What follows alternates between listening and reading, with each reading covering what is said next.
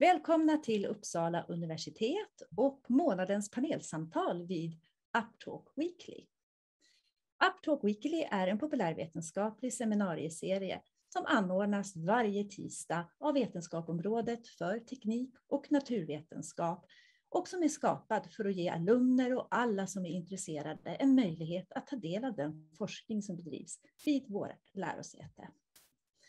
Sista tisdagen varje månad arrangeras ett panelsamtal för att lyfta viktiga samhällsfrågor och ge olika perspektiv till dessa. Då panelen, beroende på ämne, kan bestå av deltagare från olika vetenskapsområden, lärosäten, näringsliv och myndigheter. Upplägget för panelsamtalen är att vi under de första 20 30 minuterna får möjlighet att lära känna våra paneldeltagare genom att de kort introducerar sig själva och sen ger sin individuella inledande reflektion till dagens ämne. Efter denna introduktion så öppnar vi upp samtalet där vi mot slutet prioriterar frågor och reflektioner från er som lyssnar. Era frågor eller funderingar kan ni ställa när som helst under den kommande timmen via chatten, så tar jag dem vidare till panelen för deras gemensamma reflektion. Mitt namn är Lina Sors Emilsson och jag arbetar vid Upptech, en satsning för att bygga broar mellan Uppsala universitets teknikverksamheter och det omgivande samhället.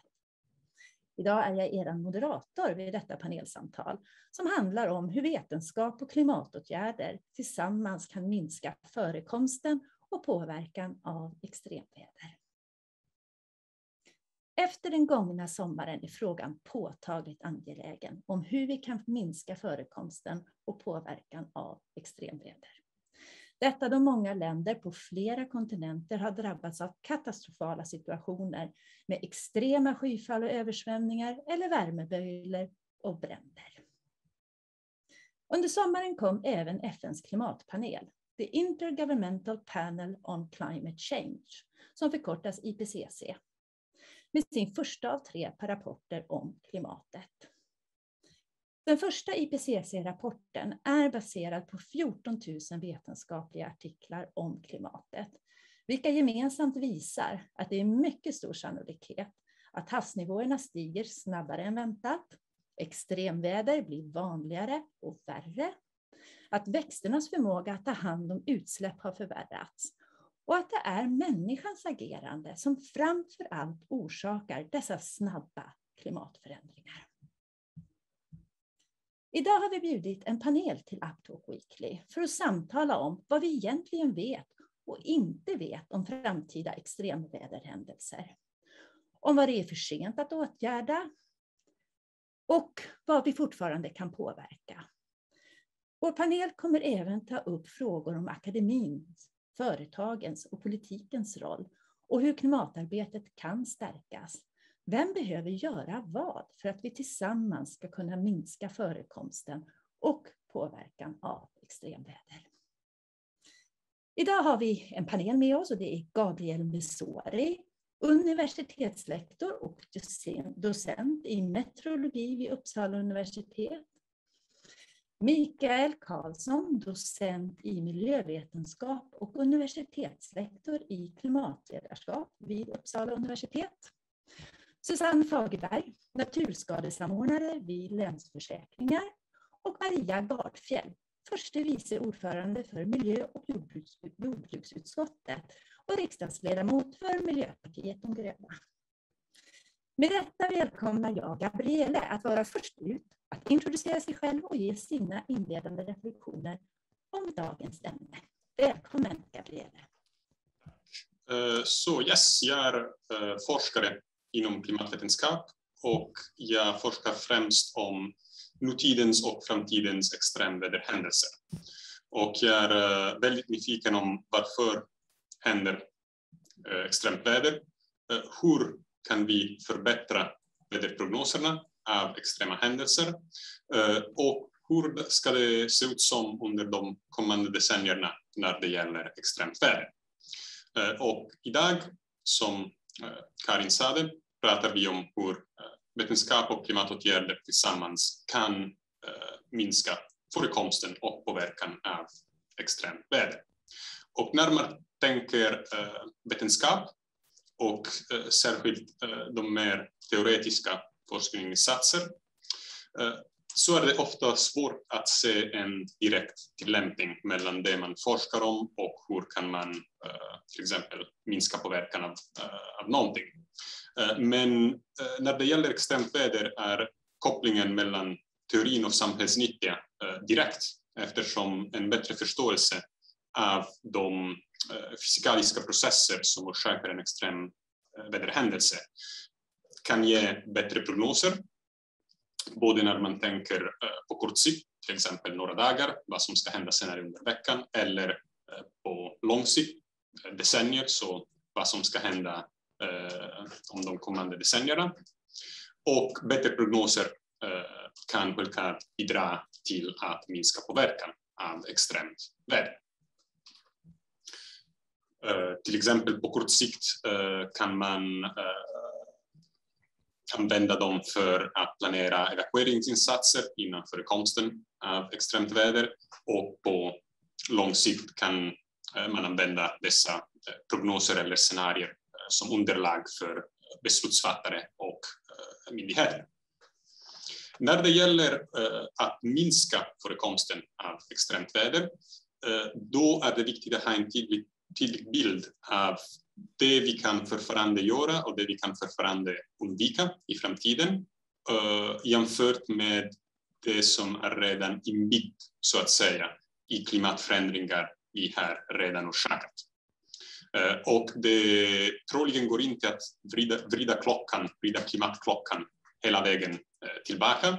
Och jag hoppas att det är någonting vi ska kunna diskutera lite mer i detalj under vårt panelsamtal. Tack! Tack så mycket Gabriele. Välkommen Mikael. Tack så mycket och spännande att vara med här i samtalet.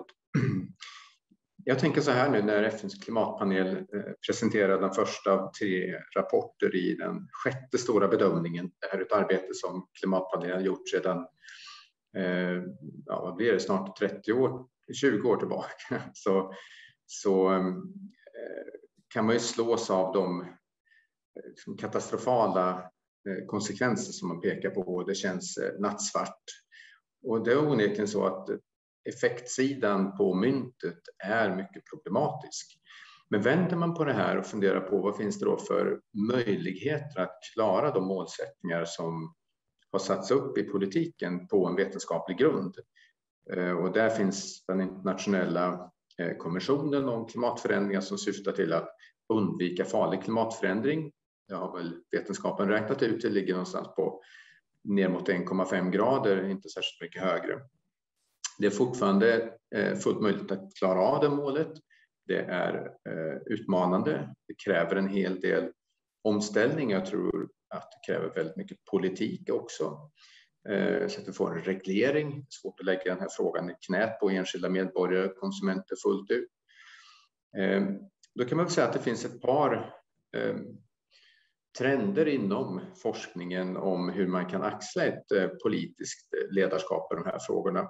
Ganska ofta så har målsättningarna för i klimatpolitiken formulerats som procentuella minskningar från ett år till ett annat. Men det är förenat med viss osäkerhet och det utgår heller inte från det som är det slutligen avgörande för klimatförändringen, nämligen hur mycket koldioxid och andra växthusgaser som slutligen släpps ut. Och på den grunden så har, eh, så har vi, eh, Uppsala universitet och andra forskare runt omkring i världen formulerat och räknat ut vad som är en en, en kolbudget, alltså ett, en, en slags totalbudget som vi har att spendera innan sannolikheten blir eh, mer eller mindre stor för att vi överskrider olika temperaturmål. Och det är nog viktigt att inom politiken stegvis gå från de här procentuella minskningarna till att tänka i termer av kolbudget. Eh, vi, har, vi kan inte spendera mer än budget. Eh, samtidigt kan man säga att en, en, en budget i sig eh, leder ju ingen vart. Om den inte också kopplas till olika strategier och styrmedel. Också där tycker jag man kan, kan se en, en, en trend inom forskningen att allt mer Eh, gå ifrån idén som fortfarande en del eh, hävdar är liksom ett, ett, slags globalt simsalabim, att man har globala styrmedel och skatter och sånt som är väldigt svåra att få plats och som kanske vore väldigt problematiska eftersom förhållanden i länder varierar. Så behöver man en, en verktygslåda av styrmedel och eh, beslut av olika slag. Och då handlar det allt oftare idag om att införa begränsningar Eh, för användning av fossila bränslen. För när vi bränner fossila bränslen så får vi koldioxid och då fylls, fyller vi på alla de gröna blå systemen och luften med kol och då får vi till slut en uppvärmning. Eh, så det kan handla om begränsningar för hur länge man kan använda fossila bränslen i olika typer av eh, eh transportslag. Det kan handla om begränsningar eller stopp för upptag av fossila bränslen eftersom vi har mycket mer fossila bränslen än vad klimatmålen klarar av. Så den typen av liksom, Eh, som, som funnits delvis i kemikaliepolitiken. Man sätter solnedgångsdatum och annat sånt och stoppar här.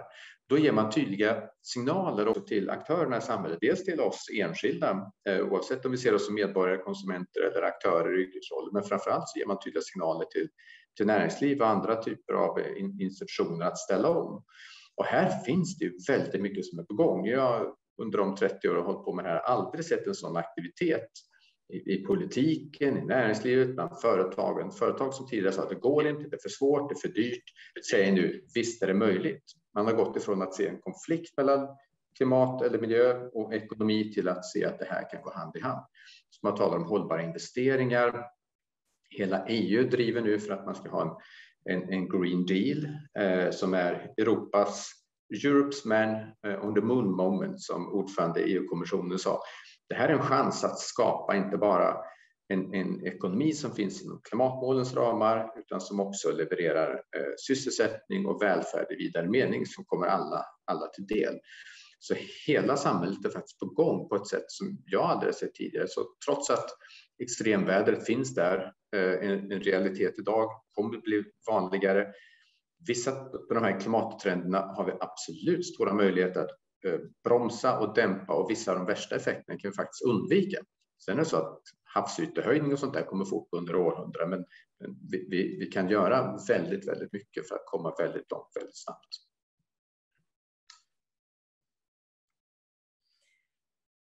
Tack Mikael som är docent i miljövetenskap och universitetslektor i klimatledarskap här i Uppsala universitet. Nu vill jag hälsa en av våra gäster som kommer utifrån välkommen och det är Susanne Fagerberg som arbetar som naturskadesamordnare vid Länsförsäkringar. Välkommen Susanne. Tack och tack så mycket för inbjudan. Det här känns som ett väldigt spännande forum. Vi får se var vi landar efter att ha mött våra kunskaper. Eh, jag heter alltså Susanne Fagerberg och eh, när eh, Eh, innan jag kliver in till vad jag gör idag vill jag ändå koppla an mot eh, Uppsala universitet med att en gång i tiden, och det är länge sedan nu, 1983, så blev jag klar med min juristexamen. Eh, sen har jag jobbat en stor del av mitt yrkesliv med eh, först social försäkring men eh, mot slutet privat försäkring. Och eh, det jag tar med mig egentligen då är erfarenheter från att ha jobbat med eh, försäkring eh, på olika sätt och i olika företag. Nu senast de 15 åren har jag jobbat på Länsförsäkringar, 12 år som skadechef och då har jag ju så att säga sett effekterna utav klimatskador eller naturskador som vi pratar om i, i den funktionen. Och sen, sen 2019 så är jag knuten till Länsförsäkringars servicebolags hållbarhetssekretariat eh, och jobbar med naturskadesamordning. Eh, så jag tänker att jag tar med mig in då försäkring, kund, konsument och i någon mån också kommunikationsperspektivet in i den här dialogen. Det jag har mött och som jag tänker mycket på i min vardag, det är ehm, fastighetsägarens ansvar i det här sammanhanget. Att man har ett ansvar för sin fastighet, man söker ett försäkringsskydd för oväntade och oförutsedda händelser. Och då har vi alla de här naturskadorna som är en följd av klimatförändringarna och som vi kan läsa i rapporter och i framtids Eh, studier och eh, klimatscenarier att det kommer att öka. Vi har ju idag ett skydd för storm, skyfall, översvämningar, vinterskador och så vidare.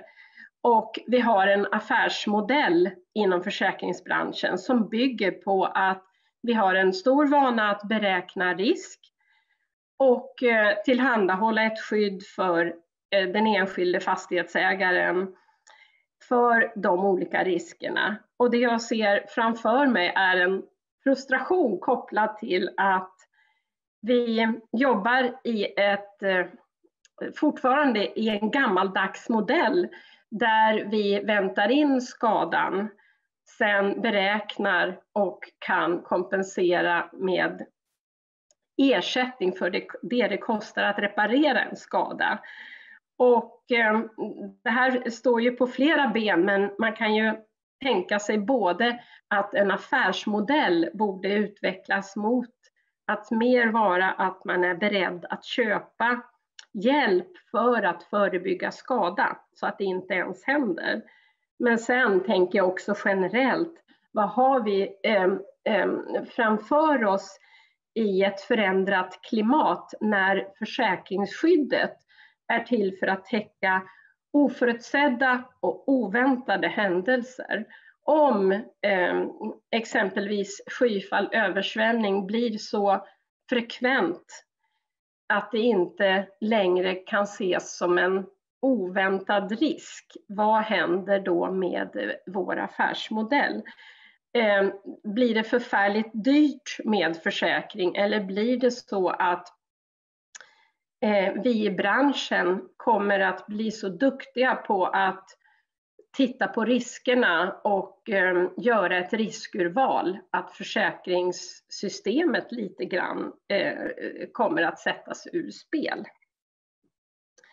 De här perspektiven har jag med mig in i dagens dialog.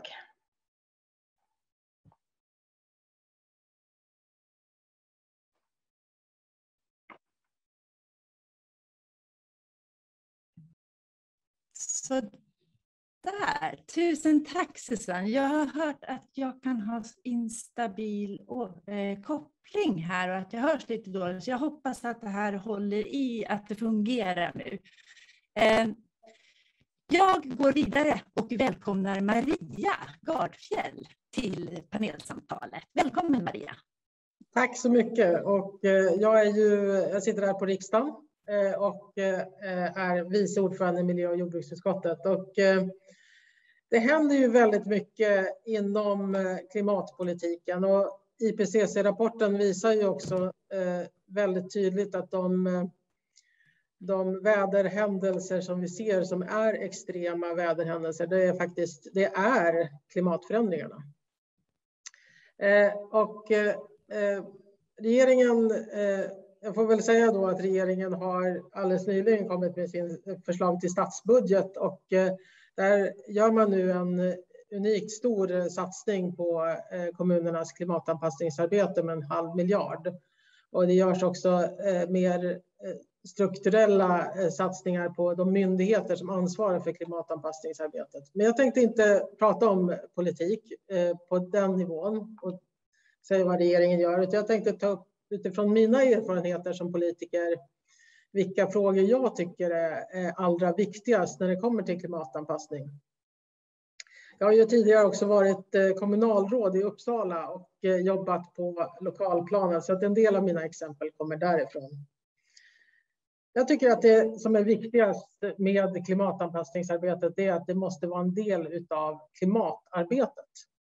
Och eh, det är just genom att det här är inte bara en fråga för någon säkerhetssamordnare på kommunerna, utan det är en strategisk del av klimatarbetet som det blir, får tillräcklig tyngd och vikt i samhällsplaneringen, tror jag.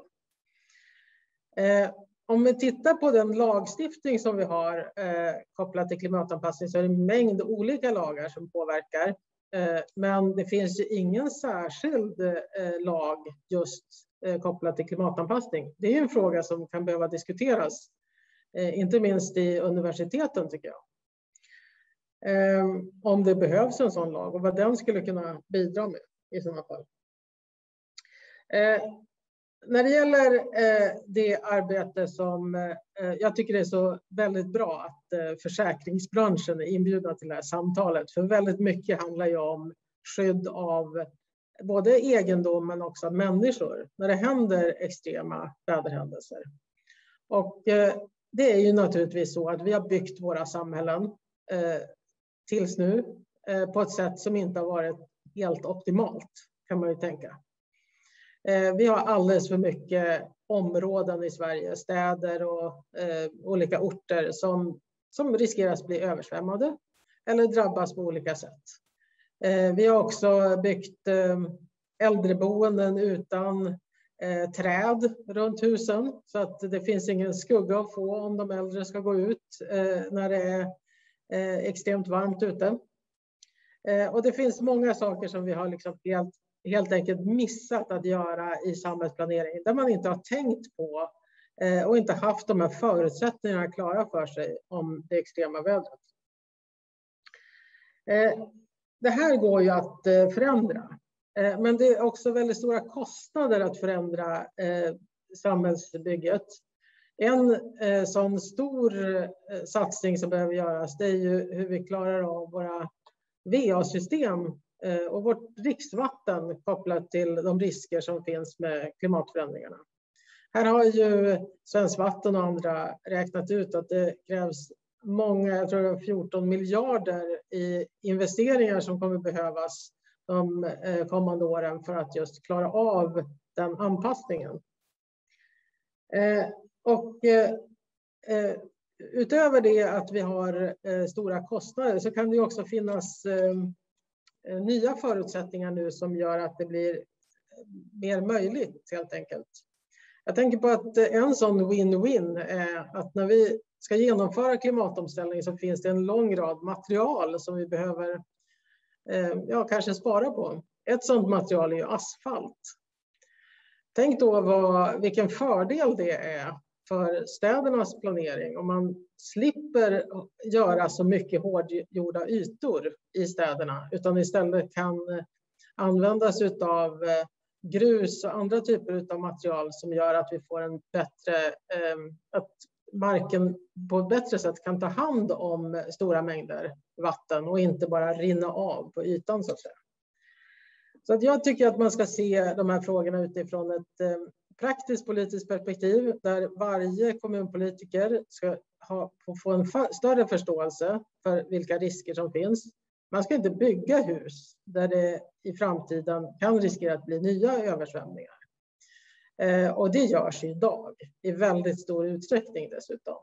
Men man måste också planera om samhällen så att man, eh, städerna har förmåga att ta hand om stora mängder vatten och att det inte blir allvarliga konsekvenser eh, för det. Och man behöver också göra det eh, strategiska, småskaliga men systematiska arbetet. Till exempel att eh, se till att eh, jord och skogsbruk också blir mer klimatanpassat. Vi hade Sveaskog på besök i miljö och jordbruksutskottet nu på förmiddagen och de har ju nu antagit ett program där de ändå vill till exempel jobba med med klimatanpassning och eh, anlägga många fler våtmarker eh, på sina marker för att just eh, minska riskerna för stora skyfall. Så att här, här tror jag att det behövs väldigt många olika typer av satsningar och det behövs en mer samlad politik på klimatområdet och framför allt så behövs det mer kunskap. Så där tänker jag att samarbetet mellan akademin, näringslivet och politiken kommer att vara helt avgörande. Tusen tack! Jag har tappat kontakten och gått till min telefon nu, så jag hoppas att vi är på banan i alla fall. Eh, tack Maria! Vi inleder med att eh, vi tar frågan, vad vet vi egentligen om klimatförändringarna idag? Och jag tänker kanske att Mikael kan börja där.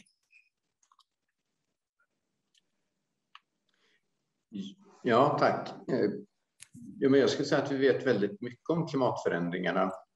Jag sa eh, 30 eller 20 år, men det är 30 år sedan eh, ungefär som, eh, som vi började få systematisk eh, rapportering från eh, samarbetet inom IPCC. Men jag minns själv den, den andra stora bedömningen från IPCC, alltså FNs klimatpanel som kom 1995. Jag skulle säga att så redan då så var vi i, i kvalitativ mening eh, väldigt säkra på oerhört mycket.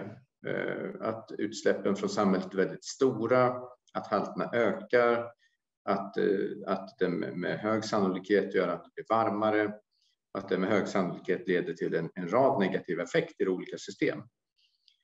Sen kan man säga att kunskapen sedan dess har växt något alldeles enormt och från en till en annan av de här bedömningarna av klimatpanelen så har det ibland tagits eh, ganska stora kunskapsmässiga eh, mässiga skutt så att vi har blivit bättre på att säga eh, hur snabbt går det? Vi har blivit bättre på att då, alltså kvantifiera det.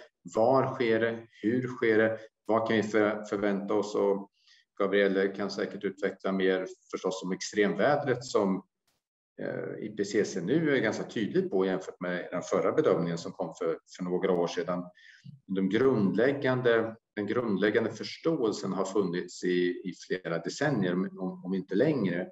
Eh, alltså, kopplat också till insikten om att eh, klockan tickar snabbt och det är viktigt att mycket snabbt minska utsläppen. Nu har det inte alls skett i den takt som, som skulle behövts för, för att göra det här eh, Eh, långsiktigt stabilt. Så nu måste vi snabba på därför pratar vi om eh, i, i, forskning om klimatledarskap och så vidare behovet av eh, transformations, alltså samhällsomställningar, förändringar där vi tar stora skutt framåt. Vi kan inte fortsätta minska utsläppen sakta längs med en linje och ett sådant exempel som man kan hoppas få genomslag är ju till exempel stålindustrin där utsläppen har legat på en viss nivå. Sen får man en slags elektrifiering och utsläppen faller väldigt, väldigt snabbt under en tidsperiod. Och det var någonting som när, när den klimatlagen eh, skrevs för några år sedan. Jag satt själv med som oberoende expert i den riksdagskommitté som la fram det här förslaget. Eh, då sa till exempel stålindustrin att det här går inte, det är helt omöjligt, vi kommer inte kunna klara någonting före 2050-2060. Men sen när politiken från höger till vänster eh, var enig och beslutade om klimatlagen, då gick man fram och sa hybrid och nu säger man green steel och det som tidigare skulle ta 50-60 år minst och var för dyrt och för svårt ska, ska nu genomföras på 10, 15, 20 år istället. Så man ser att det finns väldigt, väldigt stora möjligheter och, och, och, och eh, eh kunskapen om klimatförändringarna är ju det som driver eh, eh, fram den här förändringen och i det förändringsarbetet som, som kommer till stånd. Och då håller jag med Maria Gardfeld helt och hållet om behovet av samverkan mellan universitet och akademi och andra.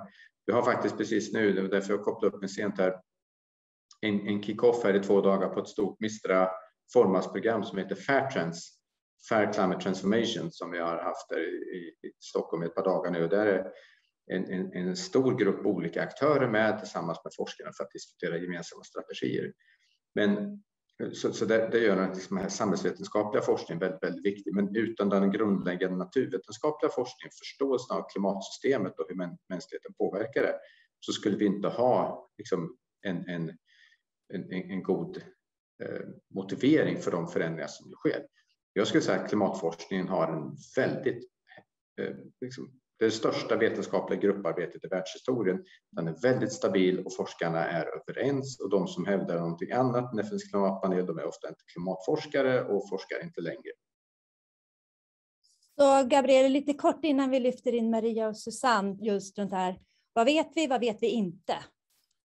Så som uh, Mikael sa det vet vi ganska mycket nu om klimatförändringar och vi har, uh, vi har haft den här kunskapen i flera decennier nu kan man säga, minst 20-30 år. Eh, ett problem som är fortfarande kvar är att ofta när vi eh, utreder vad som ska hända med extremt väder till exempel, tänker vi på eh, regional eller större skalor. Till exempel vad som ska hända i norra Europa med värmeböljor eller vad som ska hända i Medelhavsregionen med skyfall och kraftig nederbörd. Medan eh, den som behövs från en beslutsfattare men också näringslivet eh, synpunkt är att veta vad som ska hända i Uppsalas län till exempel om man vill eh, försäkra, eh, fastigheter i Uppsala eller om eh, regionen vill eh, arbeta med, eh, med att minska påverkan av extremt väder. Och jag ser som det största problemet det, den här skillnaden mellan informationen vi eh, letar efter och forskar om Eh, när det gäller eh, till exempel IPCC-rapporten och forskningskretsar och informationen som behövs för, ett, eh, för att ta, möjliggöra effektiva åtgärder mot påverkan av eh, extremt väder. Jag tänker att vi kan göra en liten snurr på den här frågan nu och titta på den här IPCC-rapporten som jag nämnde. Eh, hur tror ni den kommer påverka klimatarbetet? Och då tänkte jag att jag går till Maria och sen till Susanne där och slipper in. Eh, det här är ju naturligtvis inte den första IPCC-rapporten som har en betyd eller påverkan på klimatarbetet, utan nu börjar ju de här rapporterna vara, Eh, komma ut också som bra information till allmänheten. Och det tror jag kommer ha en väldigt stor betydelse för eh, klimatarbetet. Därför att eh, som all politik så behövs det en förankring brett i samhället för att man ska kunna få genomslag för de viktigaste åtgärderna. Vi vet ju nu att vi inom 10-20 år ska ersätta all olja Eh, som används i samhället med, med förnybara, eh, förnybar energi och förnybara material av olika slag. Det kommer ju innebära en enorm stor eh, påverkan på samhället. Men det är faktiskt, tror jag, eh, de här eh, klimatförändringarna i sig, att de syns och märks och att det blir översvämningar i, i Kalmar och Gävle och på olika ställen i landet. Det är det som kommer också göra att människor i allmänhet får upp ögonen för att ja, men vi måste ju faktiskt agera nu. Klimatförändringarna är redan här. Och eh, det här engagemanget som, eh, som jag tror också kommer växa eh, för att vilja vara med och bidra till det här. Det, det tror jag kommer vara helt avgörande. Men en sak som jag tänkte att Mikael tog upp som, som eh, jag skulle vilja lyfta lite extra, det är det här behovet av naturvetenskaplig kompetens. Eh, vi har byggt eh, kommuner och regioner och planeringskontor med ganska mycket teknisk kompetens. Men alldeles för lite kompetens på till exempel hydrogeologi och sådana här naturvetenskapliga områden som just kan vara helt nödvändiga att ha med sig när man ska Eh, jobba med planering eh, för att klara klimatförändringarna. Och där tror jag att vi behöver ha ett, eh, en, ett samtal mellan akademin och samhället om hur man förser samhället med den här kompetensen på ett bra sätt. Finns det några att anställa och hur ska de eh, i så fall jobba? Och hur kommer de, den här kompetensen in nu när den behövs som mest? Susanne, vad har du för tankar runt det här som kommer från näringslivet? Ja, eh, det är jättespännande. Eh, man lyssnar på de här olika trådarna och sen har man sin egen tråd och jag tänker ganska mycket på det här med beteendeförändring eh, i de här sammanhangen och håller ju med det du pratar om Maria, att när de här tecknen på klimatförändringarna kryper riktigt nära så finns det Eh, ett intresse eh, hos gemene man och en vakenhet och en vilja att göra saker så att man påverkar sitt eget. Eh, och jag skulle vilja göra en liten reflektion kopplat till försäkringsbranschen. Om man, om man tar basen i försäkringsskyddet för egendom så har vi ju en historia där det hela började med brand. Eh, ett skydd för den oväntade stora branden och att gå samman för att dela på den risken. Eh, sen har, har man eh, utvecklat försäkringsprodukter över lång tid och idag så är det sammansatta lösningar. Men tittar vi på eh, eh egendomsförsäkring så är det ju fortfarande så att brand är den största enskilda kostnaden. Och eh, sen eh, därefter kommer vatten. Och om man tittar på en vanlig egendomsförsäkring så handlar skyddet för eh, naturskador eh, på tredje plats och tar ungefär 10-15 procent utav eh, den totala skadekostnaden.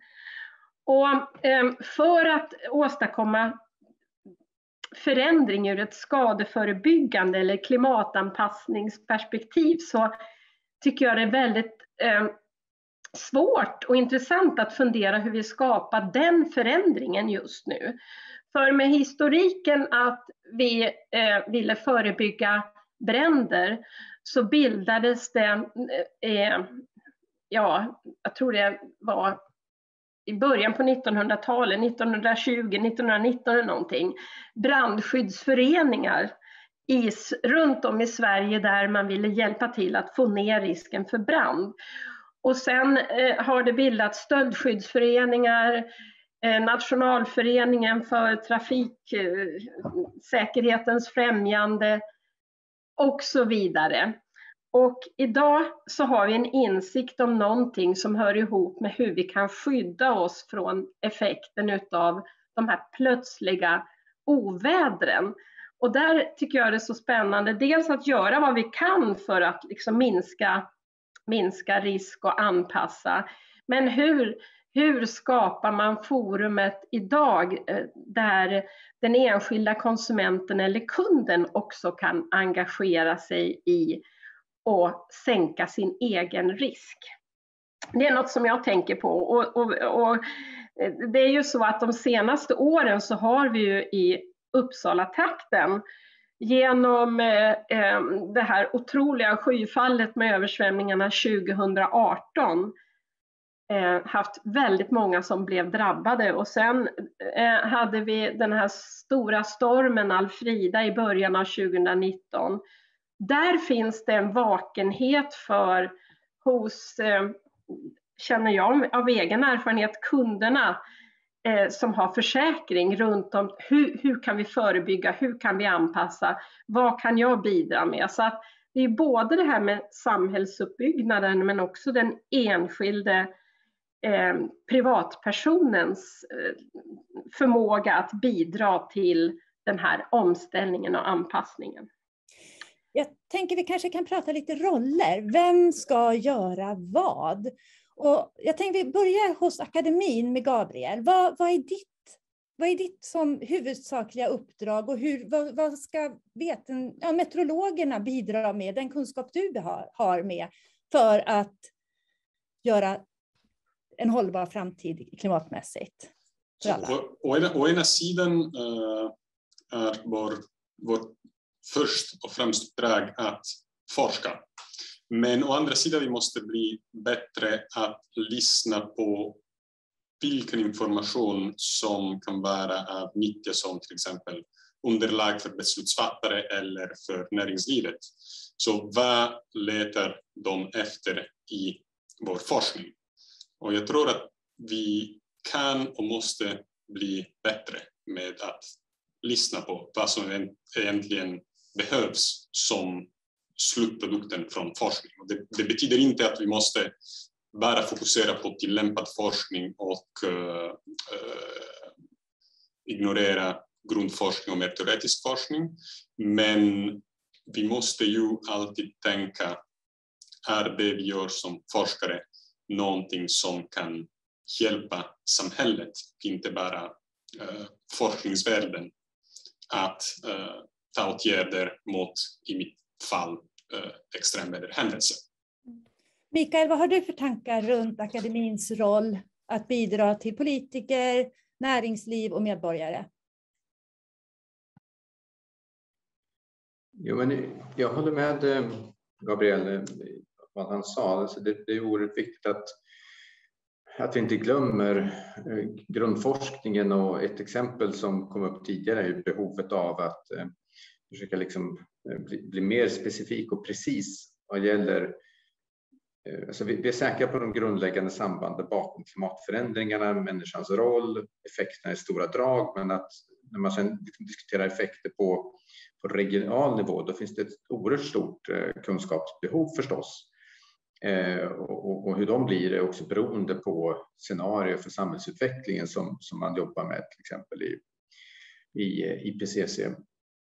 Eh, men sen menar jag ju att eh, det är en jätteviktig fråga för forskningen att vara samhällstillvänd och inte bara kommunicera forskningsresultat utan också att eh, söka vägar för samhällsförändringar. Och där är det viktigt att forskarna är, tycker jag också, då, aktiva i samhällsdebatten. Och det här Mistra Formas-programmet Fairtrans, där vi fick 40 miljoner och Uppsala universitet en, en central part i, i det här, har ju som ett uttryckligt eh, en uttrycklig inriktning som finansiärerna, både då statliga och Mistra som en stiftelse, har efterlyst, nämligen att, att hitta vägar framåt.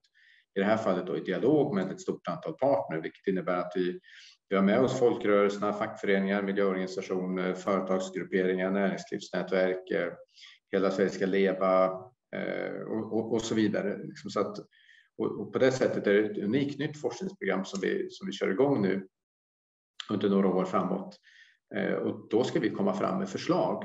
Eh, sen är det ju liksom inte, det är inte akademin som fattar beslut och där är ju politiken det som faktiskt är avgörande viktigt och då måste vi i akademin vara liksom, eh, svara upp mot det här. Som, jag tänker till exempel den här frågan som Maria Garnfjell ställde som är väldigt viktig. Hur ser lagstiftningen ut för klimatanpassning? Vi har ingen, eh, alltså EU-kommissionen har kommit med en ny strategi, men vi har Sverige ingen särskild klimatanpassningslag. Behöver man ha det?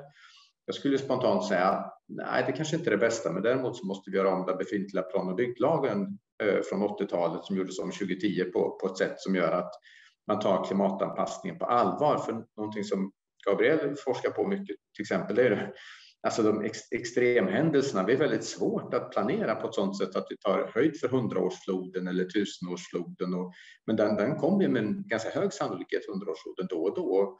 Då kan man inte liksom, planera bebygg, bebyggelse till sådana områden som, som, drabbas väldigt svårt. För då, det drabbar också liksom, de som bor där och det påverkar försäkringsindustrin och, och möjligheterna att eh, för, för Susanne med flera att göra ett, ett bra jobb. Och då måste vi från akademin svara upp både med den naturvetenskapliga kunskapen och den samhällsvetenskapliga kunskapen. Om vi går till dig Susanne som är verksam på, i ett försäkringsbolag. Eh, du och dina kollegor eh, hur kan ni vara med? Vad har ni för roll i att skapa till exempel en beteendeförändring eller ett mer cirkulärt tänk i samhället?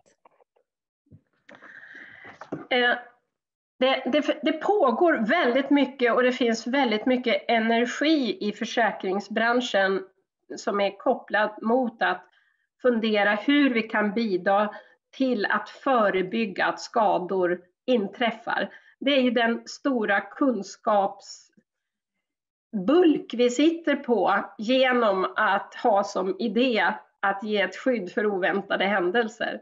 Alla skador som inträffar det är ju vinna, vinna och en klimatvinst varje gång en skada inte eh, behöver inträffa. Och då tänker jag då på extremväder just nu, om det ökar.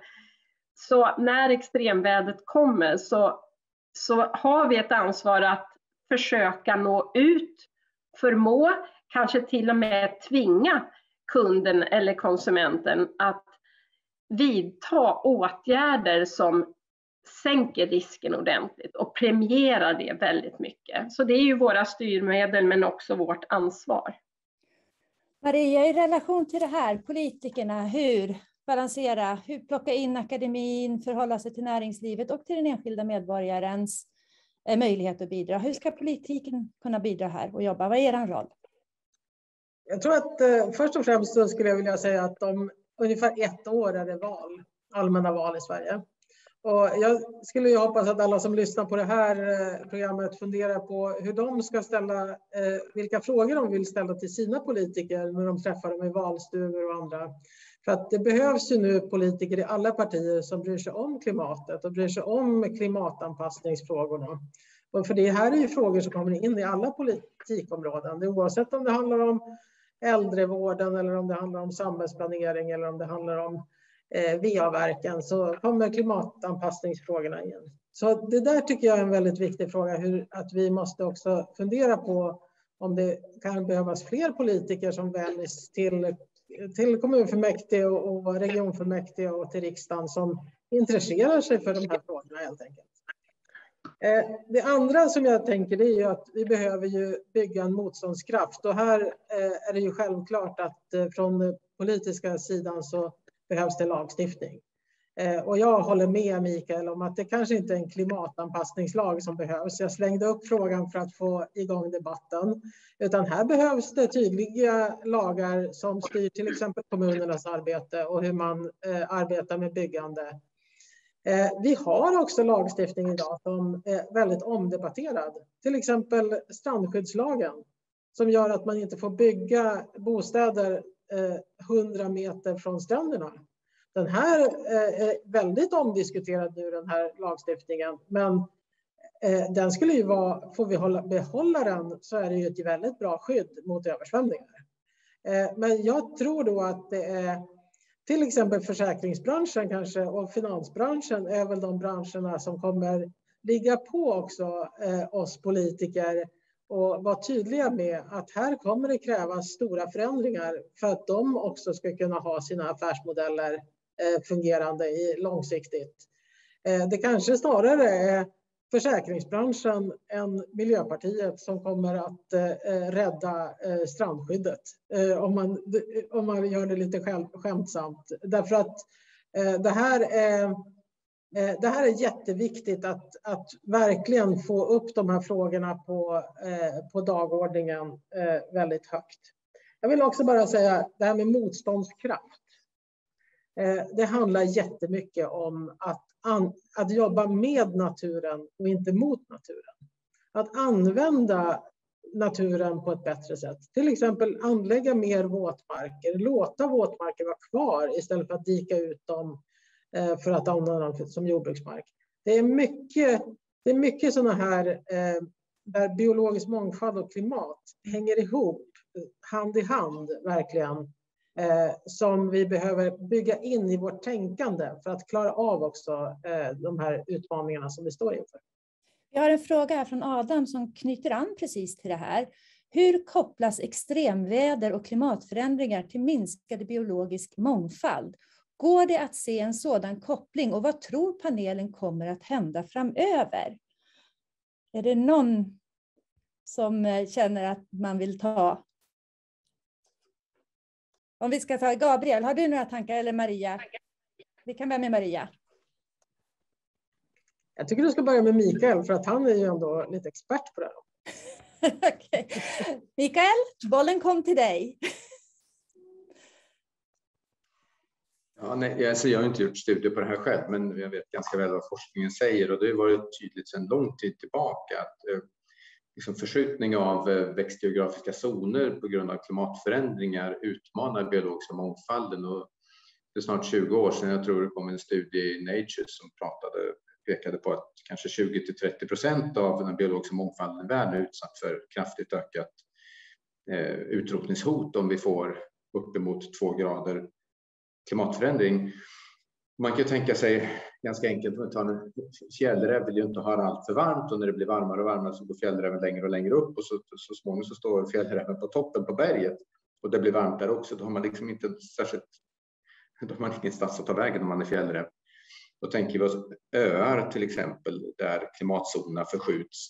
Eh, då är det ju svårt för både växter och djur att anpassa sig genom att förflytta sig och träd kan, kan per definition inte förflyttas annat än genom liksom att, att sprida eh, liksom, ja, generationsskiften då med, med liksom sprida eh, frön och så vidare.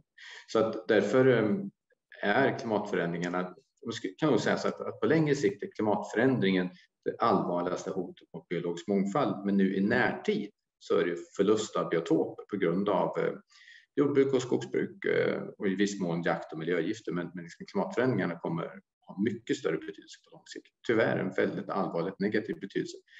Först ryker korallreven kan man väl sammanfatta liksom, effekterna närtid.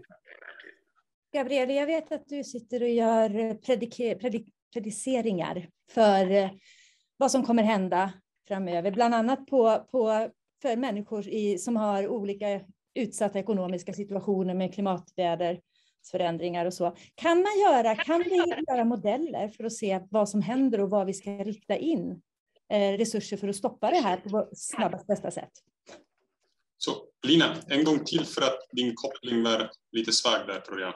Ja, vi har en, en, ett spöke här på Ångström idag som grejer med min uppkoppling. Jo, kan vi göra prediceringar? Kan vi förutse med matematiska modeller var man ska gå in och göra insatser för att stoppa? Jo, så det, det kan man göra, men eh, det är lite svårt då att ge en större bild. Då blir det mycket specifikt på ett, ett ställe och eh, en kategori av extremt väder. Och det finns dessutom stora, eh, en stor osäkerhet kring detta. Så eh, en orsak, eh, en anledning för att forskare ofta fokuserar på större geografiska eh, områden och större geografiska skalor är att vi minskar osäkerhet och kan eh, ha det lättare att ge en, den större bilden när man tittar på en region eller en, till och med en kontinent. När vi går in på lokala detaljer, då blir det eh, forskningsmässigt dyrt för att man måste ägna sin tid eh, åt någonting som, som går inte eh, lätt att eh, generalisera till andra områden. Och som sagt, eh, vi måste tänka lite noggrannare om osäkerhet för att när man tittar på lokala skalor så är Eh, lokala faktorer som kan vara jättespecifika för ett område eh, kan bli eh, viktiga och kan eh, helt förändrat bilden. Så eh, mitt svar är lite ja, det kan göras, men eh, nej, det är svårt att göra och eh, dyrt när det gäller hur mycket forskningstid man måste ägna åt detta och hur mycket nyttja då får man tillbaka eftersom det är väldigt specifikt på bara ett ställe.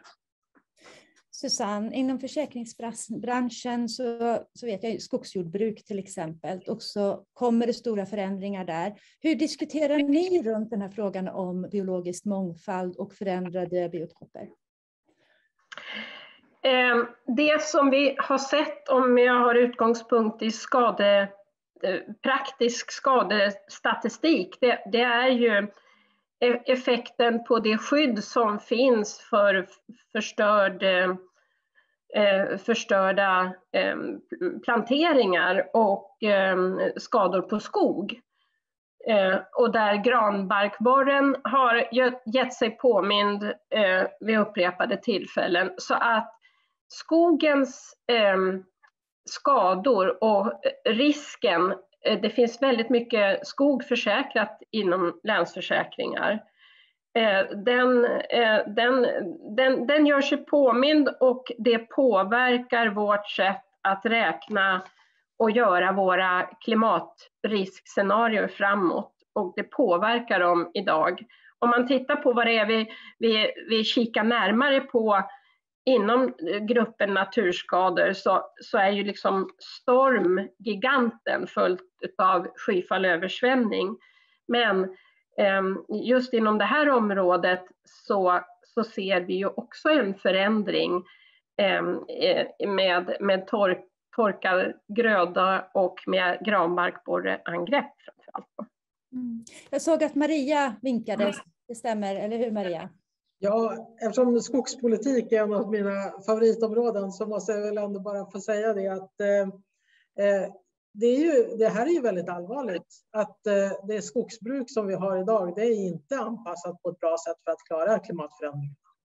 Och det som kommer att behöva krävas, det är ju också att vi får in annorlunda skogsbruksmetoder.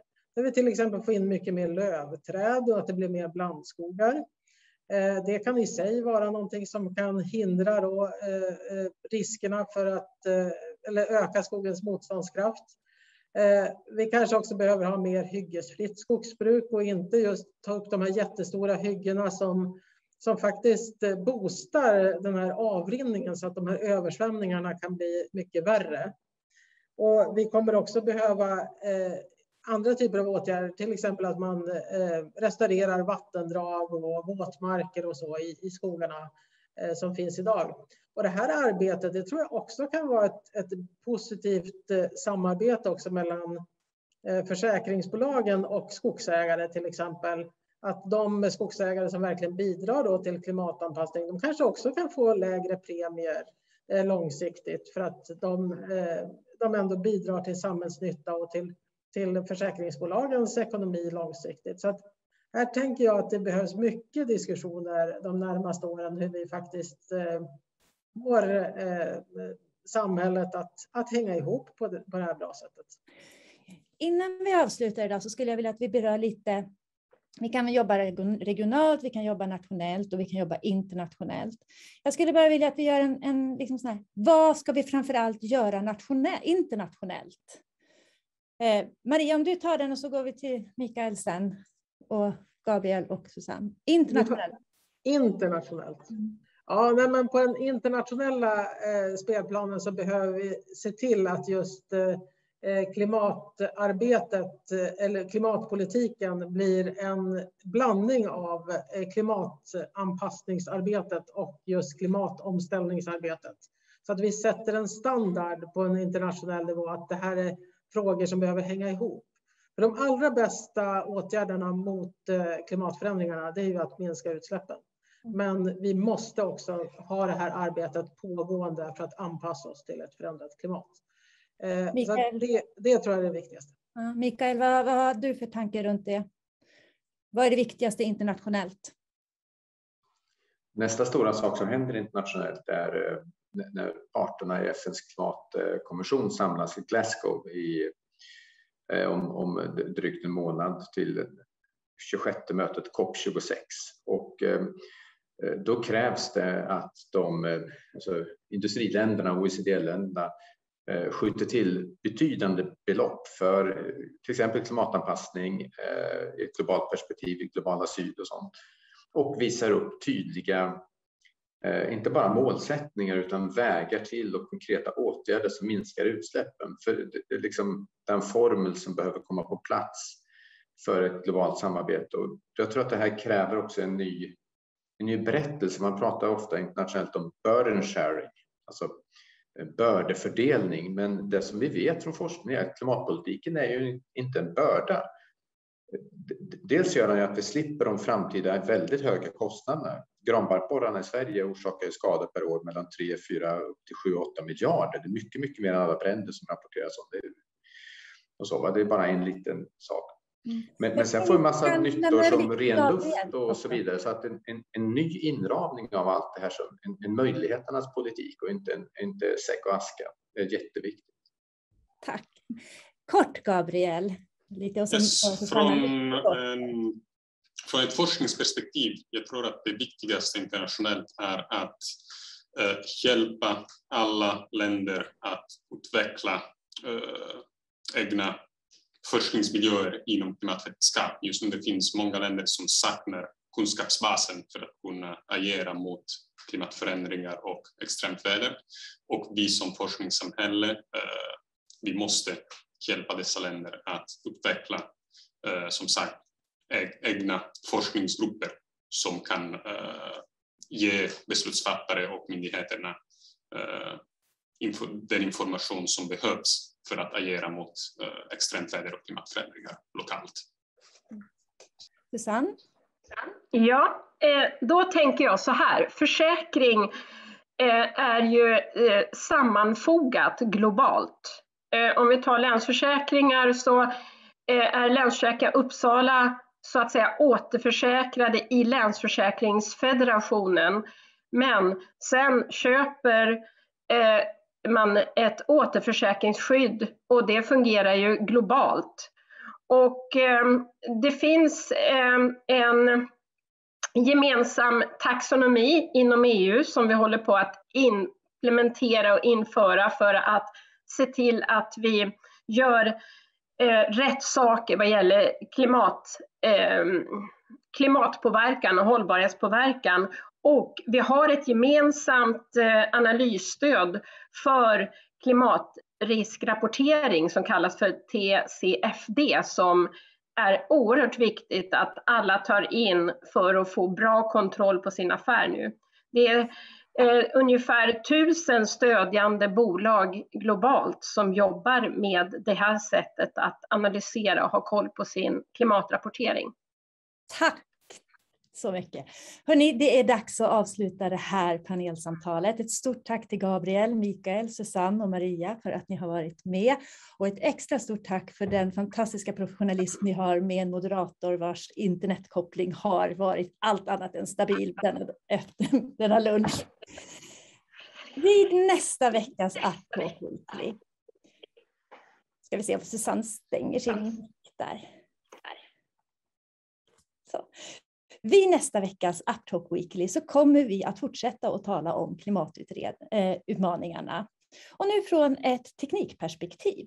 Vi kommer att träffa Marika Edoff, professor i fasta tillståndets elektronik, i ett samtal om vad som krävs av energi från solceller för att de ska kunna ersätta den fossila energin i framtiden. Panelen och jag tackar för er uppmärksamhet idag och för era tålamod och förståelse med, med mina utmaningar, tekniska utmaningar. Och så önskar vi alla er en fortsatt fin vecka.